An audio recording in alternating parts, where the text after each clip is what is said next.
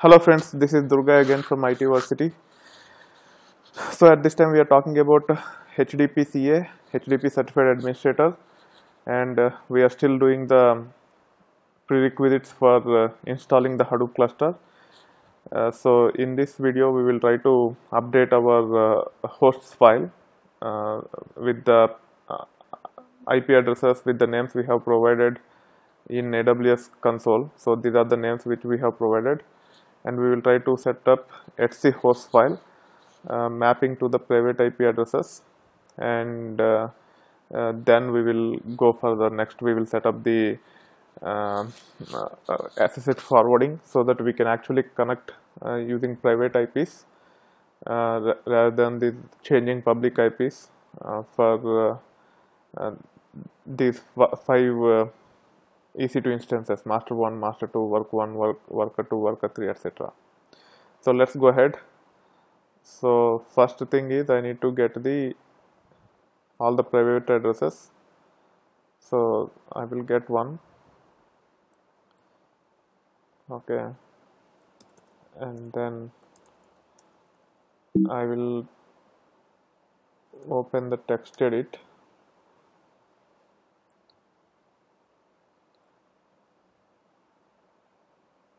so if you are using windows you can uh, uh, you need to update uh, host file using different approach. You have to go to a particular location in system directory where you will have etc and then host if you use cygwin it's pretty straightforward.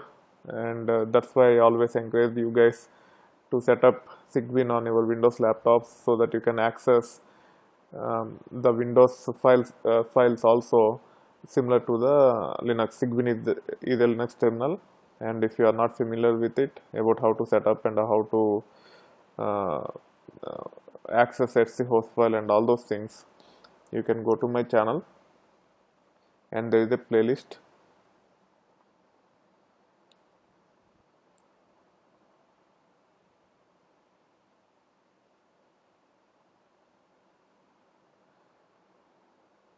So click on the playlists. And then if you expand this and search for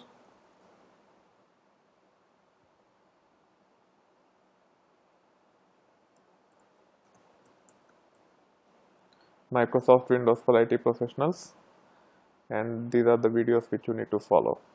And then once you have these things so you have to open Cygwin as administrator and you can actually uh, update the host file by using uh, vi etc host or any other um, editor nano editor or vi editor whatever uh, you prefer to.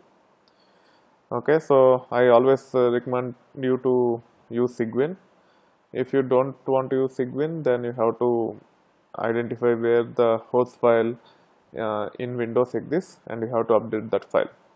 So now i'm trying to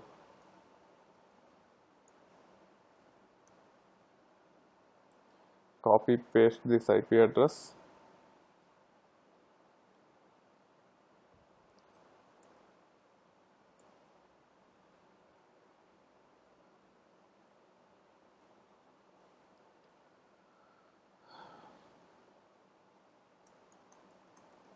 so there are six so i'm pasting six of them.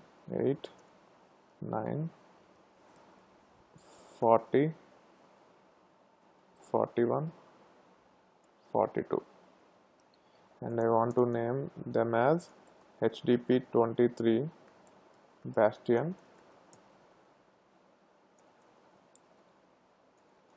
hdp 23 master 01 HDP 23 master 02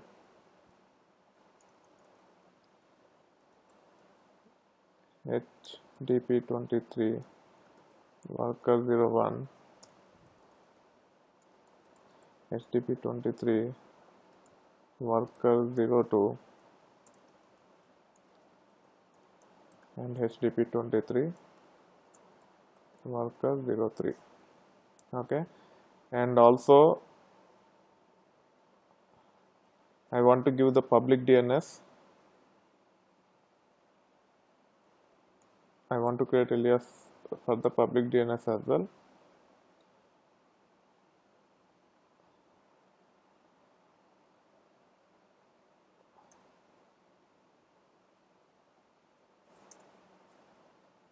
Yeah public DNS I don't need to. I just I will just uh, access using like that. And also sometimes we we want to use the private DNS rather than private IP private DNS is nothing but uh, it it is derived from private IP so if I select private DNS also you, you can see the private DNS here. And if you see it is derived from the private IP so private IP is 172.31.53.37 separated by dot here. So they prefix with IP minus and then replace with the dots with minuses and then they suffix with dot EC2 internal. Okay. So we will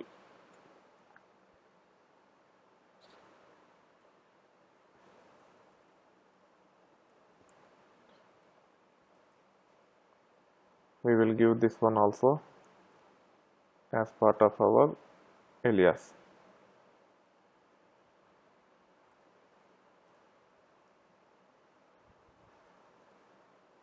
we have to change some things after pasting. I will take care of it.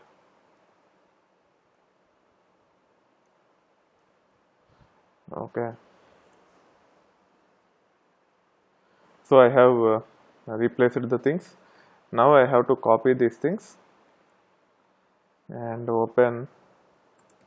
If you are using uh, Mac you have to uh, even Linux you have to say sudo vi etc host in, in the terminal. And then if it prompts for the password you have to give the password.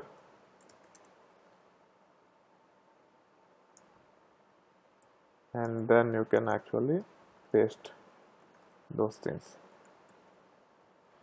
okay now you have the host file updated and if you ping it will not work. The reason is it is using private IPs but you can ping the public IP what is our public IP our public IP our public DNS is this one. Okay. And also you have seen that we can SSH using public IP okay? So now there is a concept called SSH forwarding if you want to understand more about it. Again uh, uh, go to actually you can search on my channel SSH forwarding and you will find a video setup SSH forwarding. I will also try to provide a bookmark as part of the video. You can uh, look into this and you will understand what SSH forwarding is okay? And then what you have to do is you have to say SSH minus k. Let me clear it. So you have to run command called ssh minus add minus k. And you have to add the pem file. Which pem file? Uh, um, the pem of uh, uh, the PEM user to set up uh, our instances which is called as hdp23.pem okay. And we add it. Now you can say ssh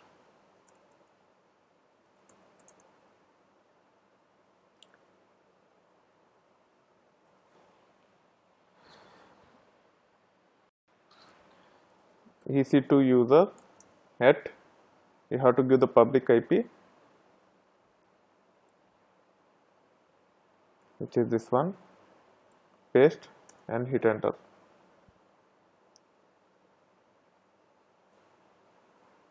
so once you log in now you can actually SSH to the other instances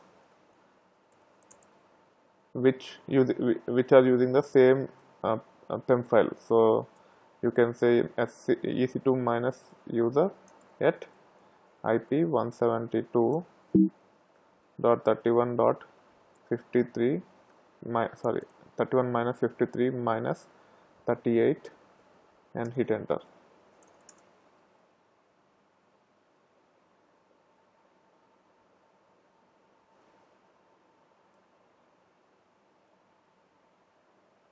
sorry you have to do it a little bit differently. Yeah from your pc when you connect to the public uh, uh, the, uh, the bastion with public ip static ip you have to say ssh minus a and hit enter. Then what will happen is your ssh key will be forwarded to the remote instance and now if you say ssh ec2 user and the ip address you are able to connect uh, to it without providing the password. You can exit. And 39 you can try every uh, to every server and it works as expected. So this is how you can set up the uh, SSH forwarding so that you can access all the nodes in the cluster through uh, command line. Okay? And also you have to set up something called foxy proxy so here you can go means if you again uh, want to understand the the foxy proxy setup you can search for foxy proxy in my channel. And uh, you can see it here. Okay? So if you are using windows also i have covered uh, in these videos. So just uh, search for it and you can actually take care of these things in windows also. Okay? Now to set up the foxy proxy i just have to download foxy proxy. Firefox. You can get it for any browser. I am using Firefox. So I am actually downloading the Foxy proxy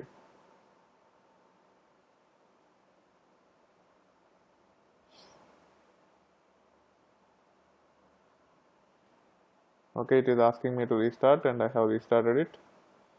Once it is restarted you will see this icon here. Okay? And then you have to add the foxy proxy for aws for that what you have to do is you can go to google foxy proxy aws you can use this link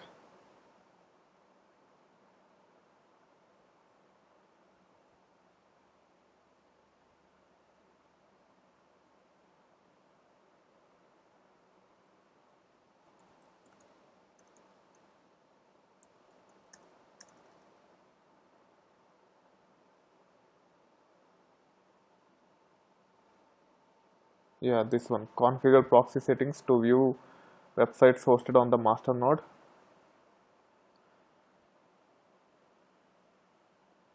And then you have to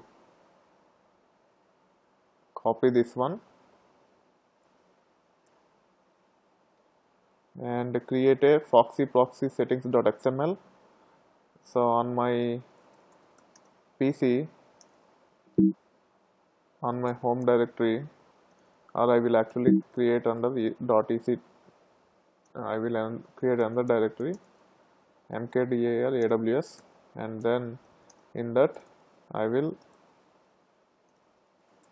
create the file foxy proxy settings.xml you can give any name but I am following the same name what they have recommended.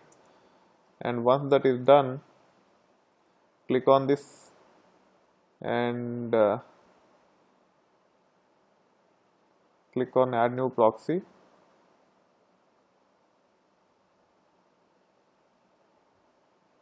Okay so I have to go to Firefox add-ons. So Firefox where is the add-ons? I think tools add-ons.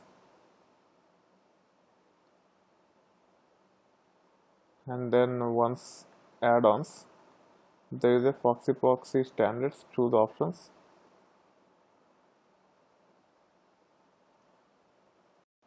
Okay I have to go to foxy proxy standard options. Okay. Once that is uh, once you are in the options.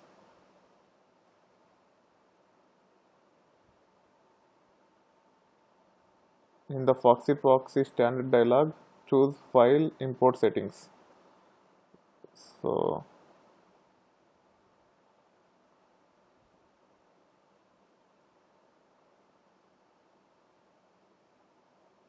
tools foxy proxy standard.